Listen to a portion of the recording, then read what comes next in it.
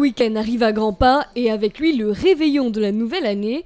Afin d'être sur son 31 le jour J, mieux vaut se préparer à l'avance et prendre soin de soi avec des produits naturels à base d'un fruit miracle, la banane.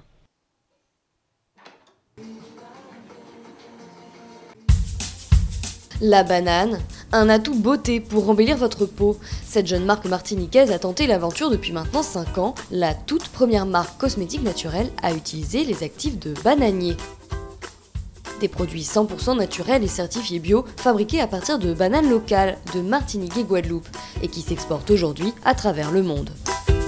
Pour les cheveux crépus, bouclés ou très abîmés, la banane peut aussi se transformer en masque maison, un soin capillaire qui hydrate, renforce vos cheveux et empêche leur chute.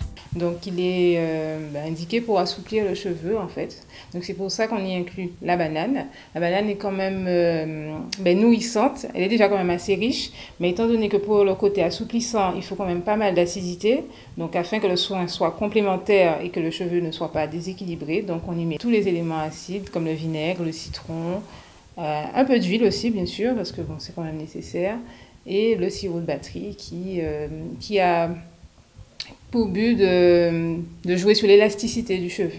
Pour cela, rien de plus simple. Donc nous commencerons donc par écraser la banane, donc une banane bien mûre.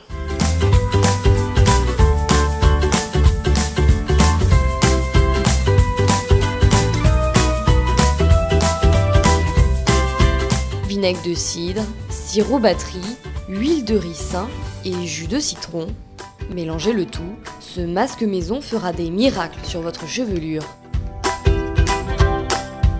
On peut l'utiliser même pour euh, le visage. C'est vrai qu'aujourd'hui, on a utilisé pour les cheveux, mais c'est vrai que tout est bon dans la banane.